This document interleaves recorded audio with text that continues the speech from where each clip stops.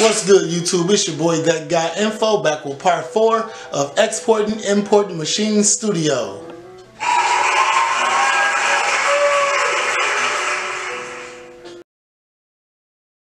We want to start off today with importing files from your file system where you got YouTube or maybe your iTunes. So you just go to Files, down to Import to Maschine Studio you load in your files.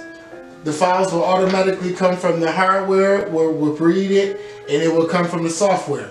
Wherever you have your system set as and you got your music coming from your library and your files or iTunes or on your desktop, all you do is go to import, the files are opened up for you on your system, then the hardware will read it. As you can see, it got busy soft seeing software is reading.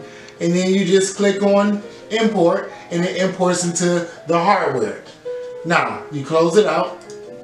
Now, after your project is done and you got all your beats loaded, you got your format plan, you ready to go, and you want to take the Maschine Studio sounds that you built and export it to maybe Studio One, iTunes, your files, or on your desktop. So you go back to Files, you go down to Files to Export Audio.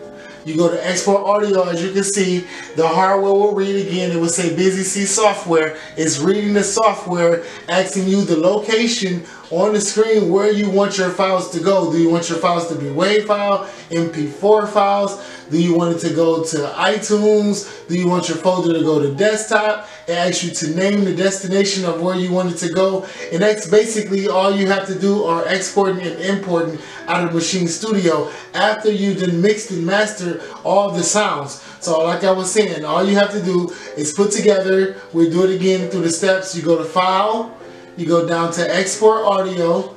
You go over, as you can see, the hardware is reading it again as well.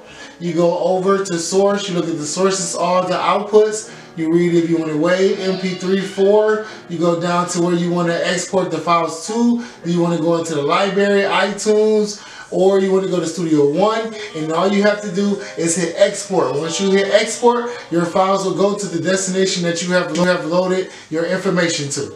That concludes another episode of That Guy Info Maschine Studio Part 4. Please like and subscribe. Thanks for watching. Stay tuned for Part 5 of Maschine Studio.